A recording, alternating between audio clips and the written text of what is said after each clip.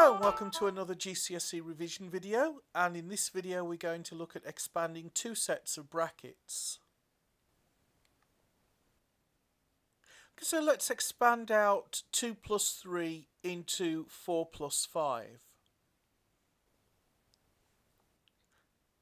Now we'd always evaluate brackets first according to order of priorities and 2 plus 3 is 5 and 4 plus 5 is 9 so we would expect our answer to come out to be 5 times 9 which is 45.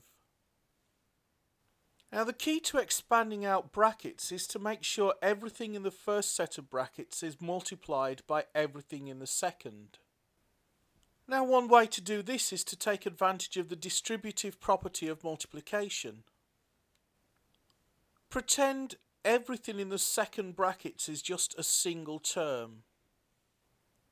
Now the distributive property of multiplication says that if we have b plus c in brackets and we multiply all of that by a, then that's equal to a times b plus a times c.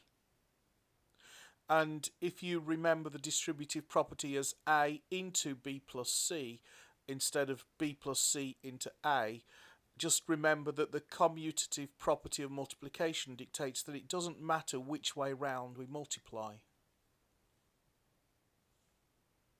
Okay, so to expand out the 2 plus 3 into 4 plus 5, we can multiply the 4 plus 5 term by the 2 and then multiply the 4 plus 5 term by the 3. So we can take our 2 plus 3 into 4 plus 5 and distribute it out as 2 into 4 plus 5 plus 3 into 4 plus 5. We can now expand out each term separately. Taking the 2 into 4 plus 5 term, that gives us 2 times 4 plus 2 times 5. Now taking the 3 into 4 plus 5 term, that gives us 3 times 4 plus 3 times 5. Combine the 2 gives us 2 times 4 plus 2 times 5 plus 3 times 4 plus 3 times 5. And here's our 2 plus 3 into 4 plus 5 in its expanded form. Let's just check that we've got the answers right. 2 times 4 is 8. 2 times 5 is 10, 10 plus 8 is 18, 3 times 4 is 12, 12 plus 18 is 30, 3 times 5 is 15, 15 plus 30 is 45, and of course 5 times 9 is 45. An easy way to remember this is FOIL. FOIL is an acronym standing for First, Outside, Inside, Last multiply the first terms in each brackets. Then multiply the outside terms in each brackets. Then multiply the inside terms in each brackets. Then multiply the last terms in each brackets. Which again gives us 2 times 4 plus 2 times 5 plus 3 times 4 plus 3 times 5, which is 45. Okay, well so much for the theory. Let's have a go at putting that into practice. Uh, let's try expanding out something like x plus 1 into x plus 2. Okay, so when we expand that out, we have our x times x is x squared plus x times 2 is 2x plus 1 times x is x plus 1 times 2 is 2 so that's equal to x squared plus 3x plus 2. That's when we combine these like terms here. Now you might have noticed that this term here, the 2, is actually equal to 1 times 2. And this term here, the 3, is equal to 1 plus 2. Okay, let's try something else. Let's try something a bit more general. Let's try x plus a into x plus b.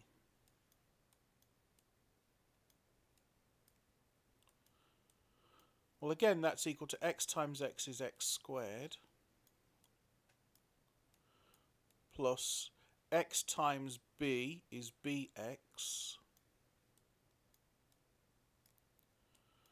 plus a times x is ax plus a times b is ab. Again, we can combine the like terms here. So bx plus ax is equal to a plus bx. So this whole thing simplifies to x squared plus a plus b times x plus a times b. And now we can see that it doesn't matter what numbers we have for a and b, the middle term will always be a plus b and the third term will always be a times b. This will come in very handy in the next video when we look at factorising quadratic equations. Okay, let's try another example. In this case, we'll try multiplying out brackets squared, a plus b squared. Well, the definition of squared is a plus b is any number times itself. So if a plus b is squared, then that means a plus b times itself. So that's a plus b times a plus b, which is equal to a times a is a squared, plus b times a is ba, plus a times b is ab, plus b times b is b squared which is equal to, given that BA and AB are exactly the same due to the commutative property of multiplication, then that's just 2 times AB. So that's A squared plus 2AB plus B squared. And that's actually a useful relationship to memorise that A plus B squared is equal to a squared plus 2ab plus b squared. Another useful variant on that is a minus b squared.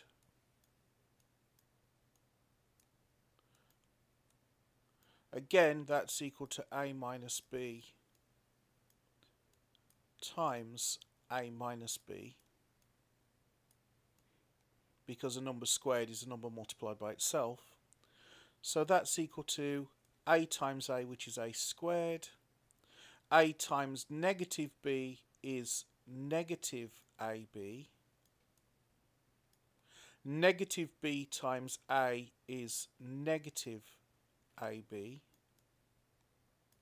and then negative b times negative b is positive b squared because a negative times a negative is a positive. So that's equal to a squared minus 2ab plus b squared. So those are two quite important relationships to know. One of them is a plus b squared is equal to a squared plus 2ab plus b squared and the other one is a minus b squared is equal to a squared minus 2ab plus b squared. And here's the tricky thing. With a minus b squared, a lot of students mistakenly put a negative sign here on the b squared. That is a positive. A negative times a negative is a positive, so don't make that mistake. If you are going to memorize that a minus b squared is a squared minus 2ab plus b squared, always remember that that term, the b squared term, is positive. What would happen though if we had something like a plus b multiplied by a minus b? Well, let's expand out and find out. a times a is a squared. a times negative b is minus ab. b times a is positive AB and then b times negative b is negative b squared. So when we come to simplify this, we've got a positive AB term here and a negative AB term here. So these two values are exactly the same value but opposite signs, so they cancel out. So we end up with a squared minus b squared. And this relationship is called the difference of two squareds. And it's really good to remember that a squared minus b squared is the same as a plus b times a minus b. Okay, I think we'll do one more example. Okay, so what if you're given three sets of brackets to multiply out? Something like, say, x plus 1 times x plus 2 times x plus 3. Or perhaps you might be given four, five or six sets of brackets to multiply out. Well, we do it exactly the same way. We just pick any two brackets, multiply them out, and then take the result and multiply that by the next set of brackets.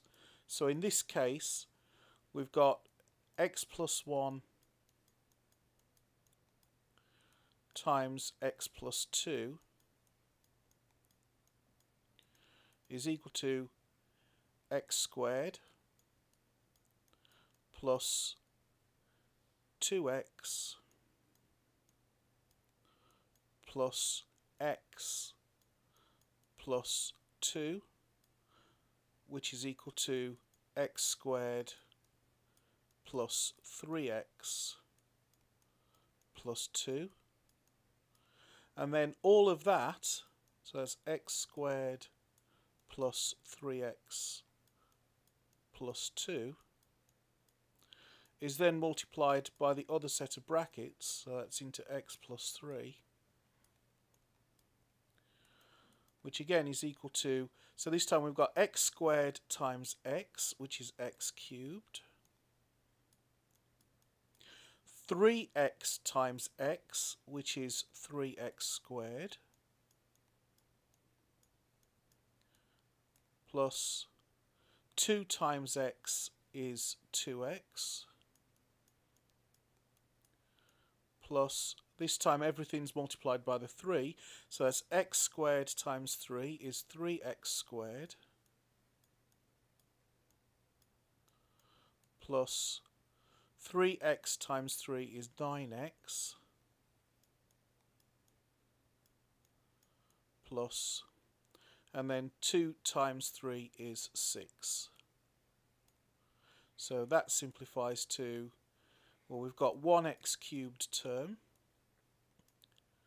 and now we can combine the x squared terms. So we've got 3x squared plus 3x squared is 6x squared. And now we've got a 2x and a 9x, so that's 11x. And we've only got one numerical term, so that's plus 6. And so, x plus 1 into x plus 2 into x plus 3 is equal to x cubed plus 6x squared plus 11x plus 6. So again, if you have more than two brackets, just multiply it out the same way you would if there was just two brackets, and then take the result of that multiplication and then multiply that by the next set of brackets, and so on until you've finished all the brackets. Okay, I hope that was helpful. I'd like to wish you all the best with your revision and all the best with your exams, and I'll see you in another video.